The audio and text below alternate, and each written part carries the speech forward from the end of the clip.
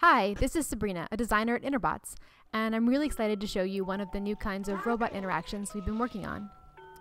In this video, you can see Popchilla and I playing with our new iPad app, Let's Make Shapes.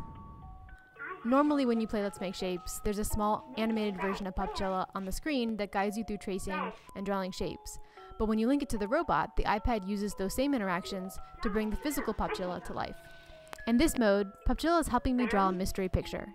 He prompts me with what shape to draw and shows me where it should go. And as you can see, when I interact with the iPad, he responds to my actions.